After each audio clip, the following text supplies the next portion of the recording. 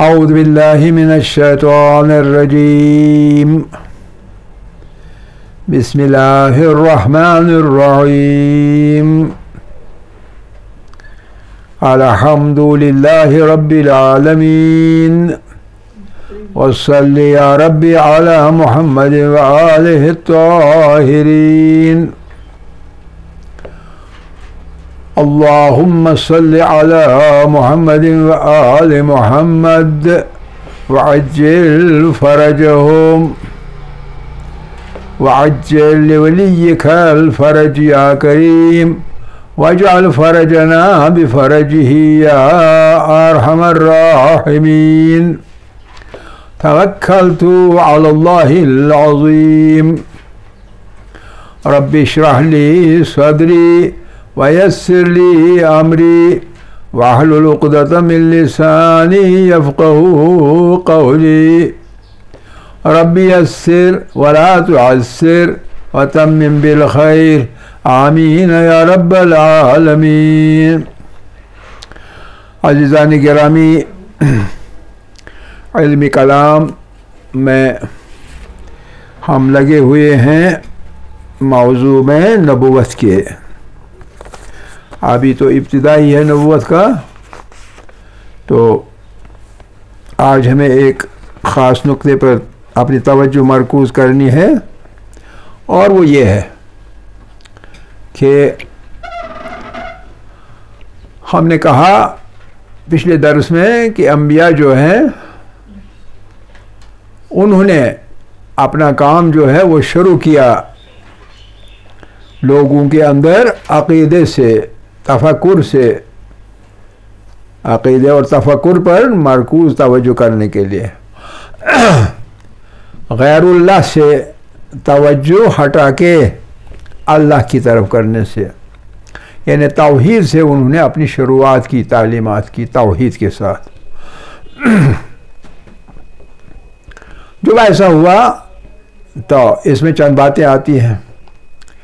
शायद मैंने पिछली बार हमने दर्स में ये कहा था कि जो इंसान है, जो चीज़ भी इंसान के साथ ताल्लुक़ रखती है, दीन हो, साइंस हो, टेक्नोलॉजी हो, जो भी हो, उस सिलसिले में ज़रूरी है कि अगर हमें कोई रद्द बदल करना हो, हमें पहले इंसान को समझना होगा। इंसान की शिनाख्त करनी होगी।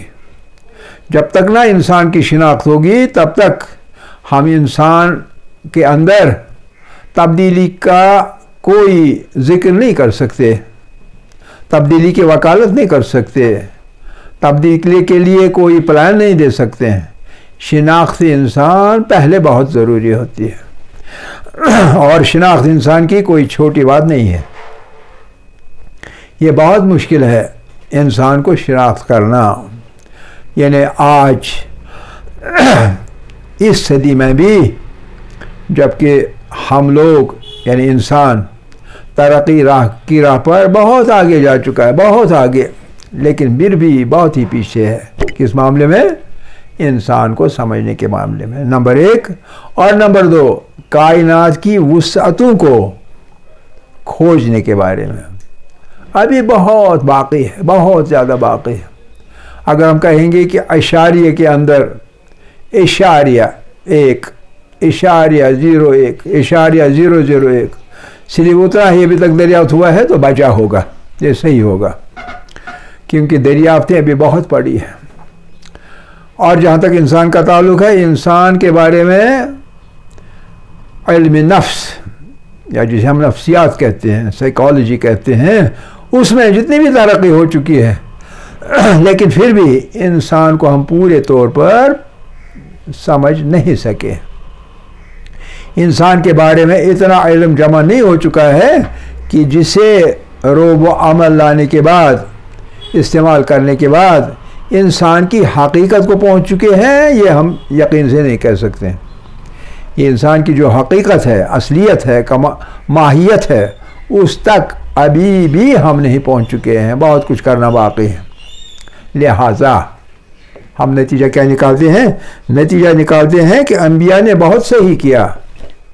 कि इंसान के बारे में अपनी शिनाख्त पर भरोसा नहीं किया, बल्कि तोहहीद पर भरोसे किया। और ये मान लिया, ये जान लिया कि जो कुछ अल्लाह इंसान के बारे में बताएगा तो इंसान चूँकि अल्लाह ने ही खल की है, लेकिन इस इंसान को अल्लाह के बगैर और कौन समझ सकता है? इंसान को और कौन सा जान सकता है बगैर उसके जिसने इसे खल किया हो? लिहाजा खालिक जो है, वो इंसान को, उसकी ज़रूरतों को, उसकी अच्छाइयों को, उसकी बुराइयों को सबसे ज़्यादा जानता है। इसलिए अम्बिया ने तवज्जो इसी तरफ़ रखी कि जो भी कवानी अल्लाह ने अमर की सूरत में बता दिए, उनको लागू करने की कोशिश की। ठीक है ना? ये हम पिछले दरस में बता चुके हैं। अब अगली बात जो है, वो ये है। अगली बात सिर्फ़ एक है। और वो बात ये है कि अब इंसानी समाज इंसानी सोसाइटी के बारे में जो कि कवानीन हूँ कवानीन का भी थोड़ा सा ज़िक्र किया था कवानीन जो हैं ये कवानीन इंसान नहीं बना सकता ये हमें बता दिया था शायद। बता दिया था या नहीं? आपको कुछ जहन में है या नहीं है? हाँ? शायद आपके जहन में कुछ रहता ही नहीं। नहीं बताया था। मुझे ख्याल है कि बताया था।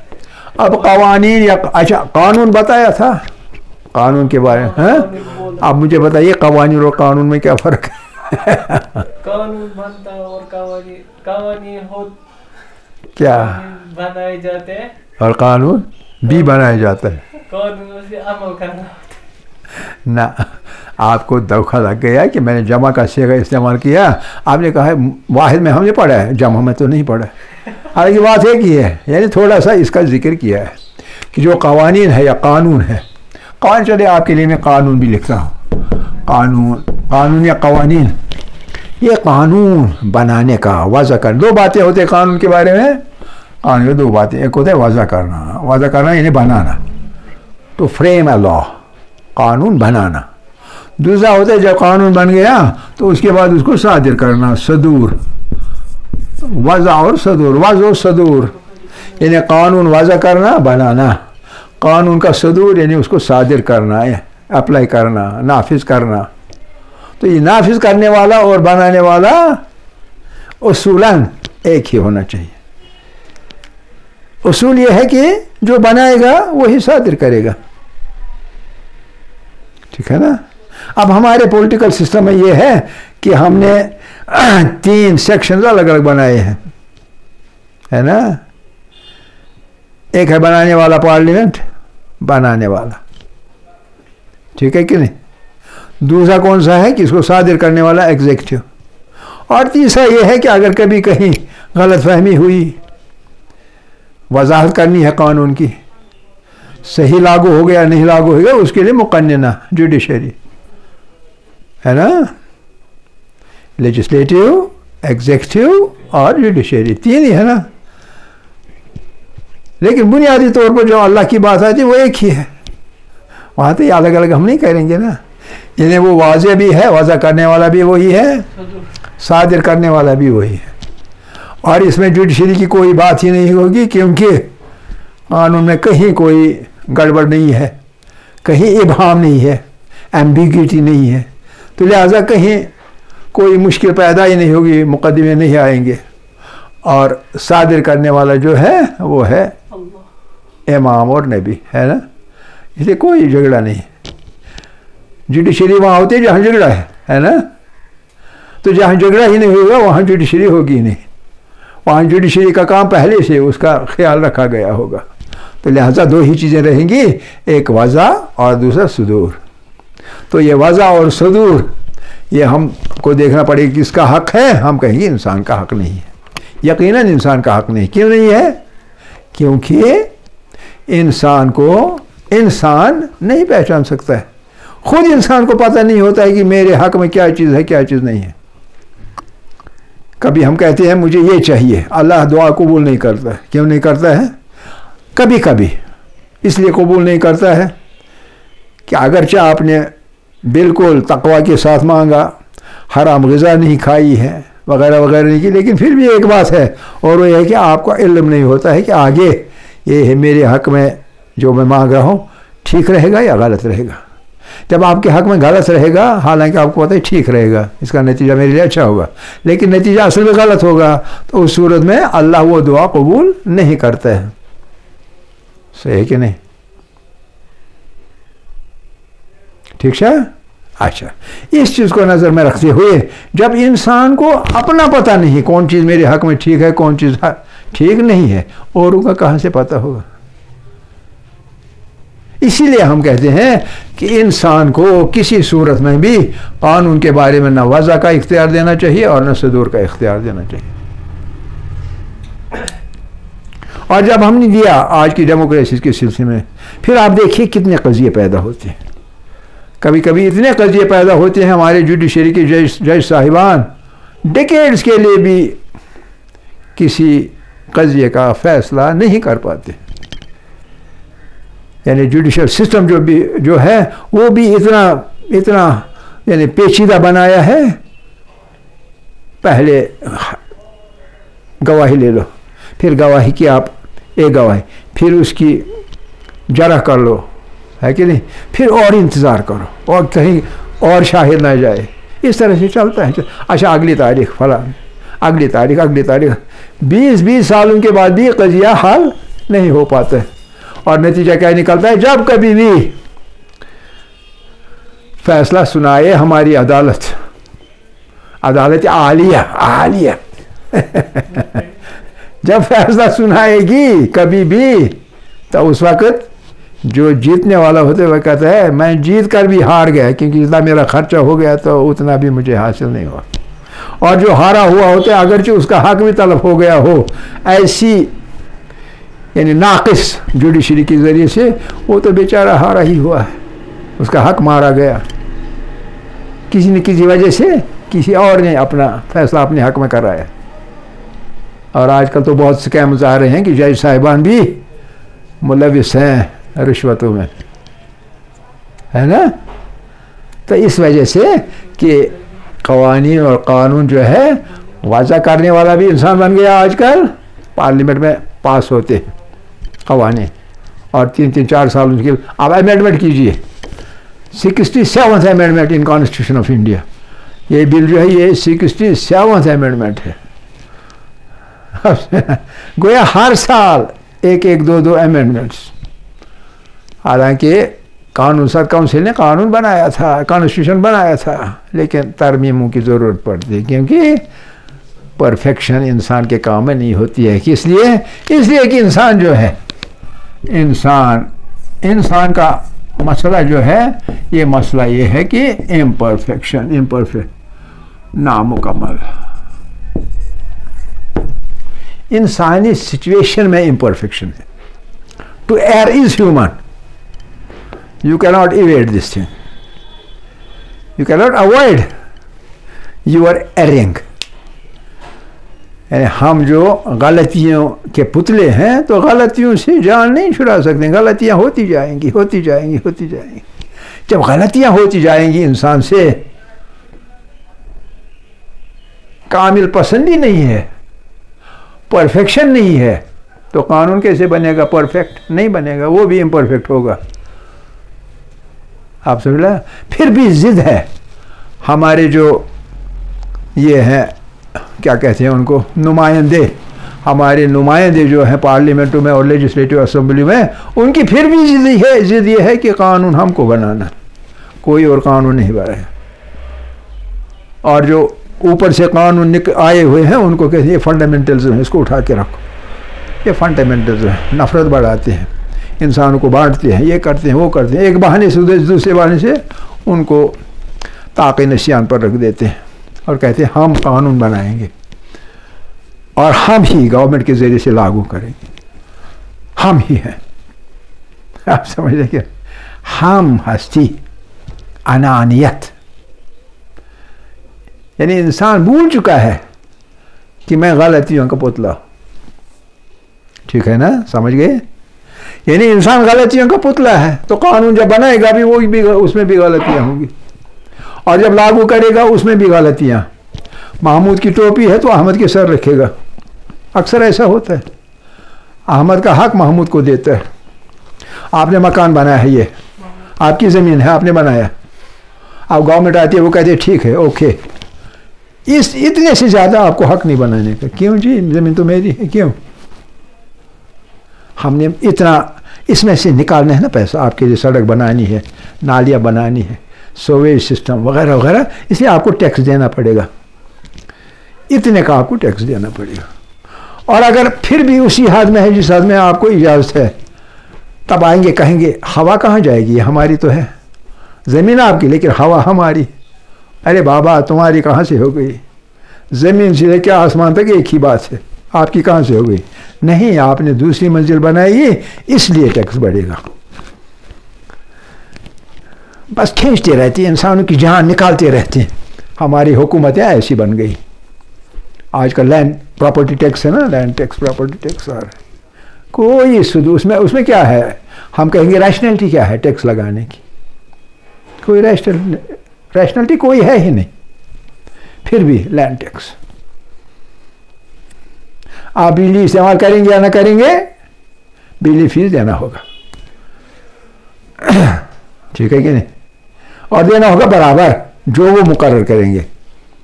जितना आप जलाएँगे बिजली, इस्तेमाल करेंगे बिजली, उस, उसका कोई, और अभी मीटर लगे ही थे कि कोर्ट में चला गया मुकदमा और सिटे लगे। क्यों? क्योंकि कहीं कहीं अभी मीटर लगे ही थे, अभी कनेक्शन अंदर नहीं गया था तो मीटर चलने शुरू हो गए, बगैर बिजली के चलने शुरू हो गए। चलो जी, इतनी फ़ीस आ गई, कहाँ से आ गई? भी तो हमारी लाइन तो लगी ही नहीं है। तो कोर्ट में चला गया तो सिटे लग गया, मीटर्स पर सिटे लग गया। यह है इंसान की खामियाँ। इंसान, में बुनियादी तौर पर इम्परफेक्शन है। इंसान गलतियों का पुतला है, फिर भी हम कबूल नहीं करते। हमारी सरकारें कबूल नहीं करती, हमारे जज साहिबान कबूल नहीं करते। ठीक है ना? हमारे एडमिनिस्ट्रेशन के लोग कबूल नहीं करते, क्योंकि एडमिनिस्ट्रेशन में बैठा है डी सी साहब चीफ सेक्रेटरी साहब वगैरह वगैरह। वो समझते अब हम ही खुदा है।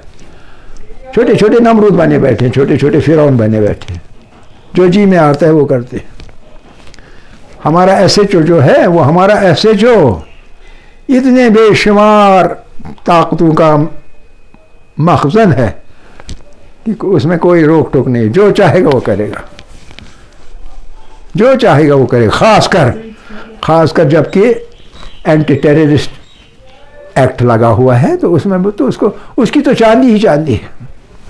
इतना पैसा बनाया है इन लोगों ने की बात ही नहीं। समझ कि नहीं? ज़्यादा बात इसमें नहीं करेंगे मुख्तसर करेंगे। हमारा मकसद सिर्फ़ एक बात समझाना है, और वो ये है कि इंसान गलतियों का पुतला है, नामुकम्मल होना इंसान की सिचुएशन इंसान की सिचुएशन जो भी हो प्रेसिडेंट साहब हो प्राइम मिनिस्टर साहब हो चीफ मिनिस्टर साहब हो चीफ सेक्रेटरी हो, कोई भी हो, जो भी हो। इसमें तकमील नहीं है, कोई दावा नहीं कर सकते, मैं मुकम्मल हूँ परफेक्शन किसी में नहीं। किसी में परफेक्शन नहीं। जब परफेक्शन नहीं तो कहाँ से कानून जैसा नाजुक मसला उसके हाथ में देंगे? कानून बनाइए, आपका हक बनता है। नहीं बनता है हक।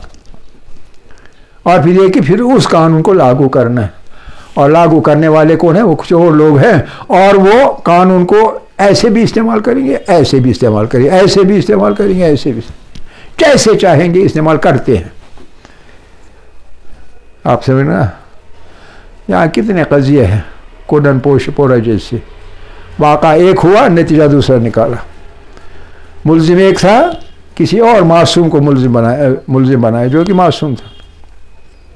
जिसकी कोई बात ही नहीं थी। कश्मीर फाइल्स देखिए। जो है ही नहीं वाक़ात, वही वाक़ात। लाए, वही बता दिया, ऐसा है और फ़ाइल बना दी। मुख्तसर मुख्तसर मैं ये कह रहा हूँ, इंसान जो है, जो भी हो जो भी हो, इंसान इंसान गलतियों का पुतला है। बगैर एक सूरत के और वो सूरत ये है कि अगर उसको अल्लाह ने अपॉइंट किया हो और वह नबी और इमाम, नबी और इमाम, उसको अल्लाह ने अपॉइंट किया हुआ हो, वो अपना नहीं बता रहा है, अल्लाह का बता रहा है, कानून भी अल्लाह का बता रहा है, इसलिए उस कानून में खामियाँ नहीं होंगी। कभी हमें लगेंगी इसमें खामियाँ या औरतें मर्द बराबर क्यों नहीं है? ठीक है कि नहीं? और औरतों पर ये ये ये थोड़ा सा नीचे क्यों है? मर्द को दो हिस्से क्यों मिलते हैं प्रॉपर्टी की? औरत को क्यों सिर्फ़ एक हिस्सा मिलता है? समझना? इसमें सवाल उठेंगे, लेकिन जब आप तहकी करेंगे तो समझने में इंसान की ही गलती होगी। कानून में गलती नहीं होगी। हर चीज़ नाप तोल के अल्लाह ने मुकर की हुई है मुनज़म की हुई है, और इसमें कहीं कोई गलती होने का शाइबा नहीं है। समझ रहे कि नहीं? तो लिहाजा, ज़रूरी है कि जो कानून है, ये कानून वज़ा भी किया जाए अल्लाह की तरफ़ से और सादिर भी हो जाए अल्लाह की तरफ़, नबी के ज़रिए से, इमाम के ज़रिए से और उनके नुमाइंदों के ज़रिए से। ठीक है ये ज़रूरी है, इसके बगैर चारा नहीं है। इसीलिए हर सोसाइटी, दुनिया की कोई भी सोसाइटी, कोई भी गवर्नमेंट ले लीजिए, बस सिर्फ़ ना इंसाफियों का अंबार है। इनजस्टिस हर जगह। और नारे क्या है? नारे हैं जस्टिस के। जस्टिस के नारे इंसाफ के नारे आप सुनो इक्वालिटी के नारे नारे बहुत लुभाने वाले दिल लुभाने वाले नारे लेकिन अंदर से खोखले। खोखले नारे पीस। जो पीस के वकील पड़े हुए हैं, खासकर हमारे मगरब के मुल्क। मफरकी ममालिक पीस के वकील बन बैठे हैं। और सबसे ज़्यादा नाइंसाफ़ी जो हैं, वो उन्हीं की तरफ़ से लागू होती जंग आराक। ईरान पे आठ साल तक जंग मुसलत करना। सब अमेरिका और उसकी हवारियों की कार और कितने लोग मारे जा चुके जितने पहले और दूसरी जंग में मारे जा चुके उससे ज़्यादा इन दो तीन जंगों में मारे जा चुके हैं। एक ईरान और अराक का जंग करवाना, दूसरा अराक में जंग थोपना, और तीसरा शाम को घेर लेना और दाइश के ज़रिए से वहाँ लूट और कत्ल गारत का बाज़ार गर्म कराना। इन्हीं के कारिस्तान है जो कि अमन अमान के दावेदार हैं। लिहाजा हर तरफ़ जहाँ भी देखेगा, मुनाफिकत नज़र आएगी, मुनाफिकत। बात एक करते हैं और काम उनकी दूसरी होते हैं। बात एक और काम दूसरी। सही है ना? और इसकी वजह क्या है? उसकी वजह यह है कि ये ठेकेदार बने बैठे इंसानियत की। और इंसानियत बगैर अल्लाह के निज़ाम के कहीं और नहीं हो सकती। आप समझ रहे हैं? समझ रहे या नहीं? इसी वजह से जो अम्बिया है अम्बिया हमने भी कहेंगे, जो नबी है, नबी ने इसीलिए तोहीद से अपना काम शुरू किया, क्योंकि इसमें दो चीज़ें हैं। एक अकीदा और फ़िक्र है, जिसकी बुनियाद पर इंसान का अमल खड़ा हो जाता है, नंबर एक। और नंबर दो ये कि कानून की अमलदारी होती है। कानून इलाही कानून इलाही की अमलदारी होती है।